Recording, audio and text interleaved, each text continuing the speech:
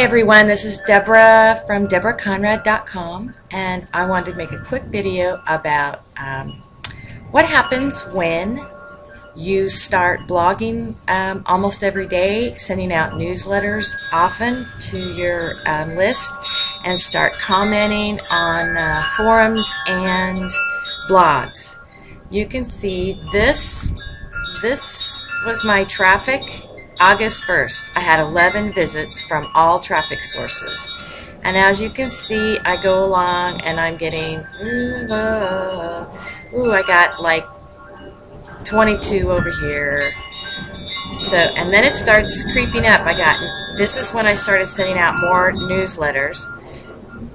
And a newsletter, I sent them out on uh, Thursday. Thursday.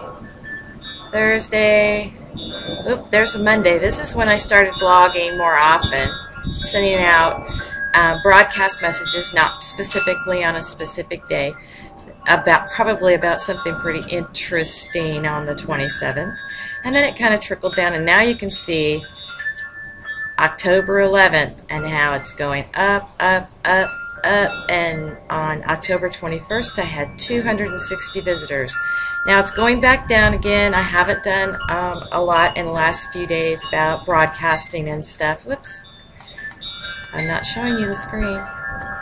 Here you go. There we go. And there, right there, 260 visitors on October 21st.